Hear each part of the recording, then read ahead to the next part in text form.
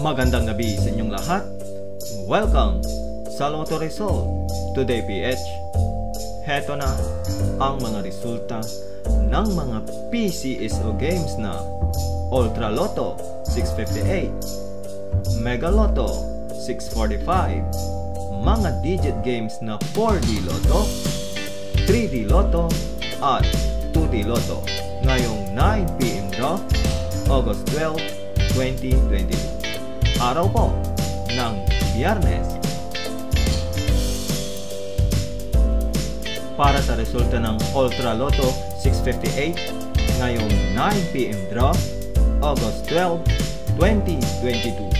Heto ang mga lumabas na numero 24, 54, 28, 42, 57, at 40 in any order na may jackpot price na 49,500,000 pesos.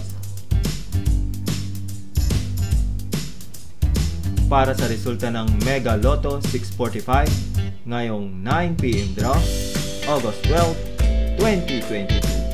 Ito ang mga lumabas na numero 3, 1, 19, 9, 23, at 28 in any order na may jackpot price na 49,210,804 pesos and 40 centavos. Para sa resulta ng 4D Lotto ngayong 9pm draw, August 12, 2022.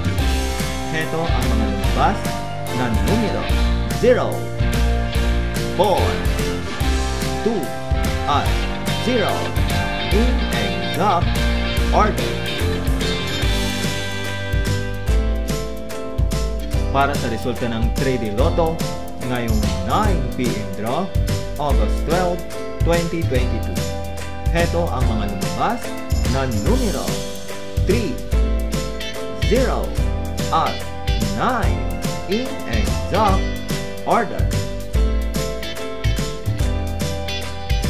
Para sa resulta ng 2D Lotto ngayong 9pm draw, August 12, 2022. Heto ang mga lumabas na numero 11 at 21 in exact order.